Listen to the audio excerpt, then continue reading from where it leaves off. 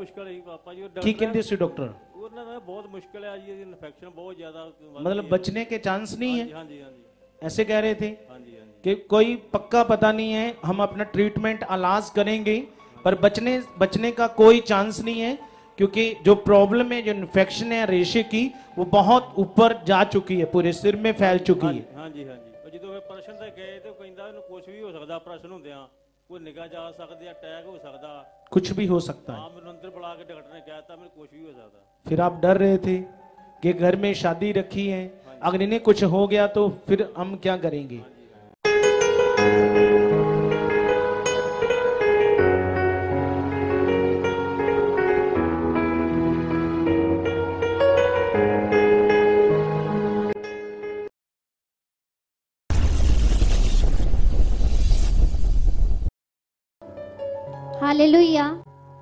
इस सिस्टर का नाम दलबीर कौर है और और जिमान पिंड के रहने वाले अपने हाथ को खड़ा करो जिनकी गवाही है।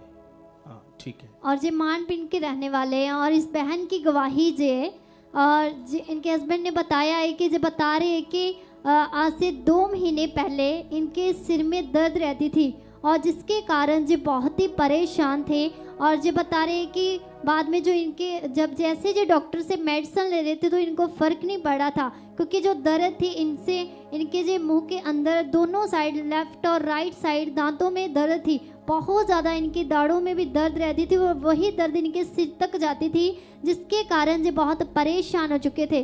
और जब बता रहे कि इन्होंने अपने गाँव में तीन डॉक्टर अलग अलग बदल लिए थे, जिससे जो मेडिसिन ले रहे थे, पर इन्हें दर्द का कोई भी फ़र्क नहीं पड़ रहा था। जहाँ तक कि ये बहुत, जो भी खाना तक नहीं खा सकते थे, इतनी ज़्यादा इनकी बॉडी में फिर वीकनेस आ गई थी, क्योंकि दर्द के कारण इनसे अ, मुँह में खाना नहीं खा सकते थे। मुँह में के- मुँह के अंदर भी दर्द होती थी और जिसके कारण जी बहुत ही परेशान हो चुके थे।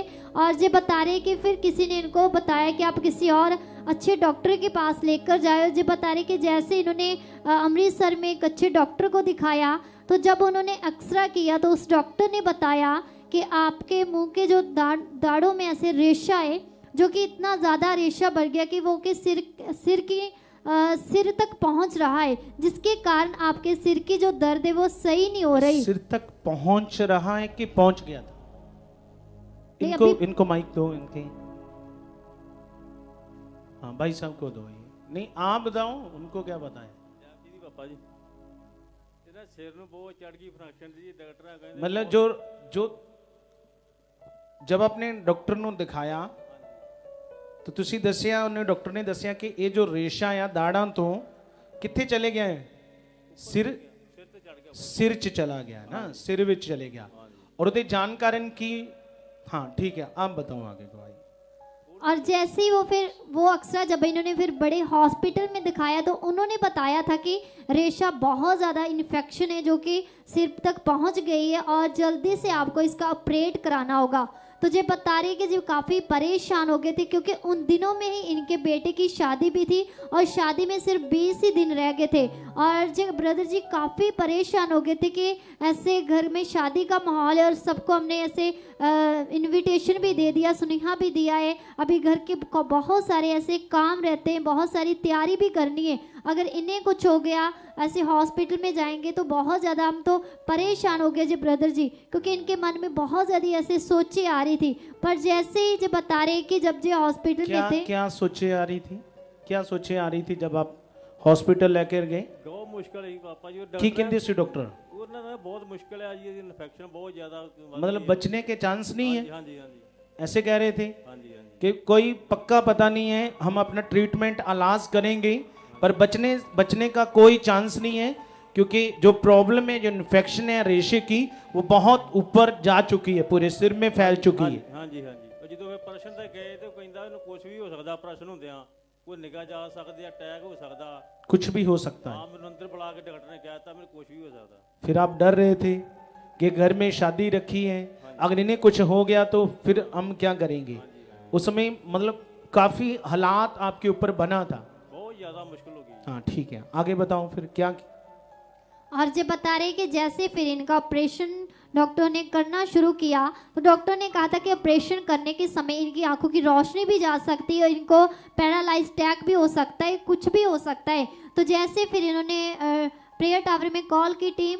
के साथ जब इनकी बात हुई तो उस दिन थर्सडे सॉरी सैटरडे का दिन था और टीम की पूरी टीम और परमेश्वर के दास प्रेयर में थे चर्च में। तो जैसे फिर इनका जो, जैसे इन्होंने बात की तो जो सब बात परमेश्वर के दास को बताई गई तो उन्होंने इन- इनको मैसेज दिया गया कि आप डरे ना, आप डरो ना, क्योंकि परमेश्वर सब कुछ कर सकते हैं। बस आप विश्वास करें और धन्यवाद में बने रहें, क्योंकि ऑपरेशन बिल्कुल अच्छा होगा, कोई प्रॉब्लम नहीं आएगी। तो जैसे फिर इनको विश्वास दिया गया, और भी इनका, जो इनका विश्वास पूरा डाउन हो गया था क्योंकि इन्होंने अपना इनका जो मन था वो काफ़ी परेशान था जो बता रहे कि अ, अभी कुछ भी हो सकता है। डॉक्टर ने तो मुझे बहुत कुछ बोल दिया है पता नहीं क्या होगा। ऑपरेशन सही भी होगा क्या उनकी आँखों की रोशनी ना चली जाए? अगर ऐसा कुछ हो गया तो मैं तो कुछ भी नहीं कर पाऊँगा क्योंकि इनका एक ही बेटा था जो इनकी बेटियाँ उनकी भी मैरिज हो गई थी।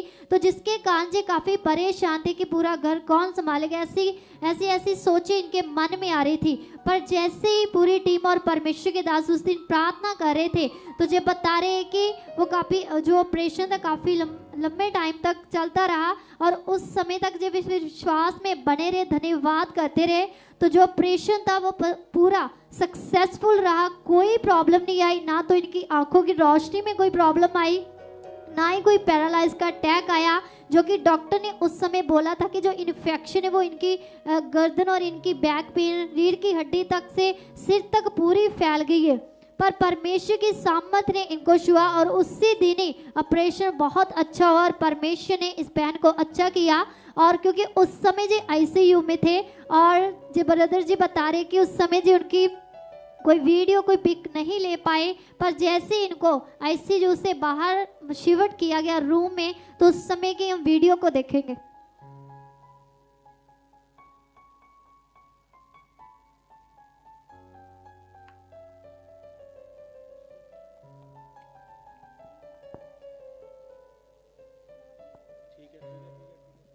तो जब बिल्कुल उस समय इनका ऑपरेशन हो गया था। बिल्कुल नॉर्मल पोजीशन में थे और जैसे जो फिर वार्ड में ऐसे हॉस्पिटल में जैसे रूम में इनको शिफ्ट कर दिया और परमेश्वर ने इनको पूरी तरह से इस प्रॉब्लम से सही कर दिया।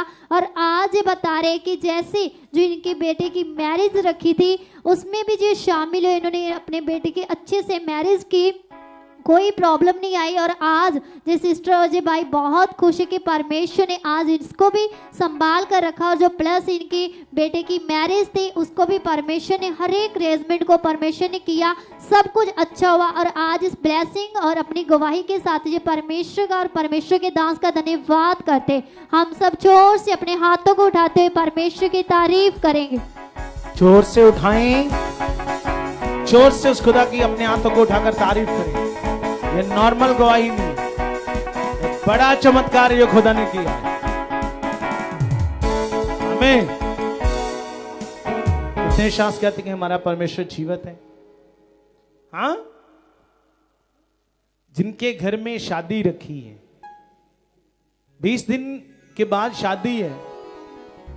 और 20 दिन पहले ये प्रॉब्लम आ गई। क्या आ गई है? कितना क्रिटिकल केस था कितना सीरियस था पर वो सच्चा परमेश्वर है उसे लव करना उसे प्यार करना मैं ਭਾਈ ਜੀ ਤੁਹਾਨੂੰ ਕਹਿ ਰਿਹਾ ਹਾਂ ਮਾਈਕ ਦਿਓ ਇਹਨਾਂ ਨੂੰ ਜਿਹਦਾ ਵਚਨ ਕਹਿੰਦਾ ਆ ਉਹਦੀ ਆਗਿਆਕਾਰੀ ਕਰਨਾ ਜੀਵਨ ਸਸਤਾ ਨਹੀਂ ਹੈ ਠੀਕ ਹੈ ਪਾਪਾ ਜੀ ठीक है ਠੀਕ ਹੈ ਜੀ क्योंकि जीवन वो परमेश्वर देता है।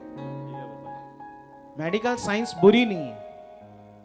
पर कई बार उससे भी क्या नहीं होता। अगर परमेश्वर ने दिया जीवन दिया है आपके घर में सारी खुशियाँ दी है। दी है ना? अगर कुछ हो जाता तो सोचो जो है ना? मतलब कैसा माहौल बन जाता। बहुत मुश्किल हो जानी पापा जी कल ज़िम्मेदारी पे आ जानी ही बहुत मुश्किल हो मुश्किल हो जानी सी ना? तो फिर इसलिए मैं ये आ बात आपको ये खुदा की हजूरी में क्यों बोल रहा हूँ? कि उसे प्यार करना, कोई पाप मत करना, जो वचन कहता है उसकी सारी आज्ञाओं को मानना, क्योंकि वो एक ही परमेश्वर है, उसी के पीछे चलना, उसका जो वचन कहता, उसमें हमेशा खड़े रहना, ठीक है? और खुदा की हजूरी को मिस कभी मत करना, ठीक है? जो रहती कमज़ोरी भी है थोड़ी बहुत वो भी पूरी तरह से क्या हो जाएगी? ठीक है? ठीक है। तो आज तो शादी भी हो गई खुश हैं आपके चेहरे से लग रहा है। हाँ? ठीक है है। ओके तारीफ़ कर दो एक बार फिर से।